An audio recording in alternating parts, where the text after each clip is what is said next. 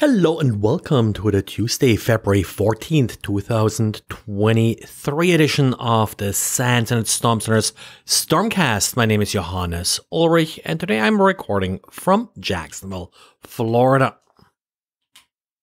Well, Apple today updated pretty much everything in Apple's portfolio. We got updates for Safari, iOS, iPadOS, macOS, tvOS, and watchOS.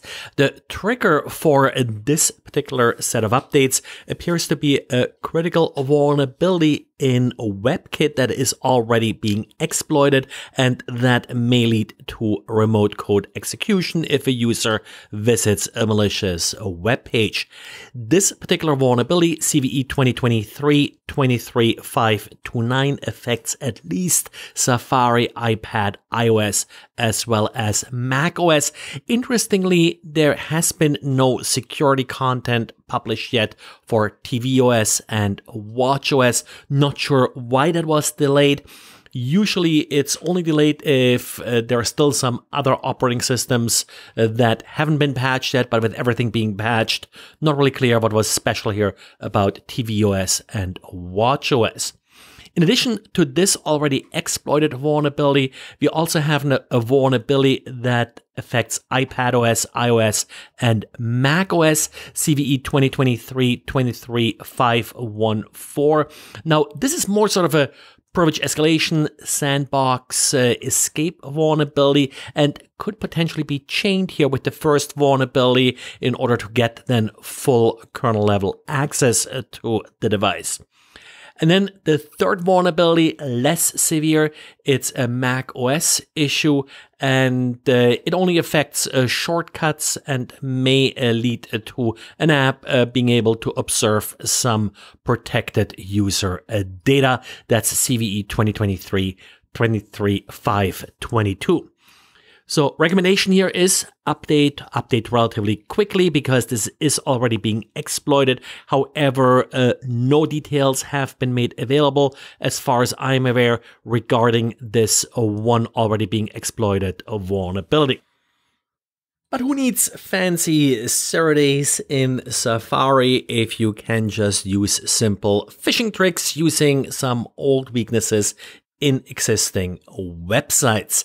We got a submission of a Venmo a phish uh, by uh, Charles, and uh, what's sort of a little bit special and different about this phish is that the link is going well to LinkedIn, using a feature that uh, has been uh, problematic for a few years now, and that's S-links. Uh, it's typically used uh, by LinkedIn business users and allows you to link uh, to arbitrary websites. Well, it's sort of used kind of like a short link uh, here, but uh, the main purpose is not to shorten the link. It's not really all that terribly short, but uh, to obfuscate it by linking to a well-known, trusted website, LinkedIn, and then the user is immediately being redirected to a compromised WordPress site, which then does another redirect to the Venmo phishing page.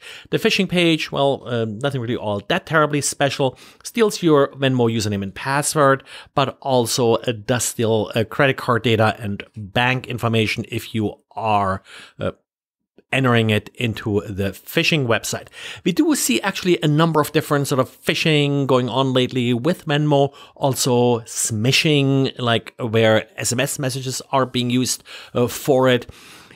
There may be something going on here also uh, because uh, Venmo uh, does a fairly simple uh, second factor, just a simple SMS four digit code here. Not sure if that's uh, somehow making it easier then to take advantage of uh, the phished information here from Venmo, but not uh, too familiar uh, with Venmo to really experiment with that very much. I did notify uh, LinkedIn about the malicious S-link, and uh, well, uh, as I'm recording this, it has already been disabled.